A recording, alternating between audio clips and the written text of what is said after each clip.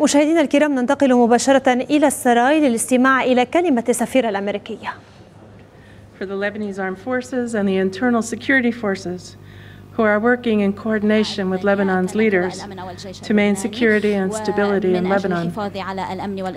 As my time here in Lebanon comes to an end, I'd like to underscore that the United States remains committed to a أود أن stable, sovereign, أشدد and على independent التزام Lebanon. الولايات المتحدة The بلبنان United States and the مستقر وحر ومستقل فالولايات المتحدة والأسرة الدولية تعي أن. لبنان يعاني من تداعيات الأزمة السورية وأن الدفاع أفضل طريقة للدفاع ولحماية لبنان من هذا من هذه الأزمة هي تعزيز السيادة اللبنانية واحترام العملية الديمقراطية في لبنان وأن يكون القادة مسؤولين أمام الناخبين اللبنانيين وأن يحموا مصالح اللبنانيين جميعا.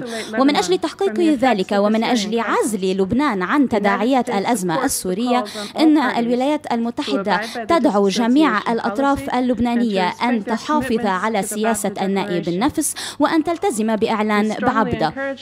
نحن نشجع القادة اللبنانيين على تشكيل حكومة لبنانية بأسرع وقت ممكن والعمل على قانون انتخابي جديد قد يشجع العملية الديمقراطية في لبنان ويضعها على السكة الصحيحة.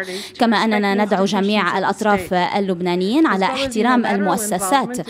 إن تورط حزب الله الأحادي في الأزمة السورية يعرض لبنان إلى الخطر ويقلل من استقرار الدولة اللبنانية. كما سبق وذكرت خلال اجتماعي مع الوزير منصور أن الولايات المتحدة تحيي القرار الأوروبي الأخير بوضع حزب الله على لائحة الإرهاب وهذا يشدد على أن حزب الله لا يمكنه أن يتصرف من دون عقاب.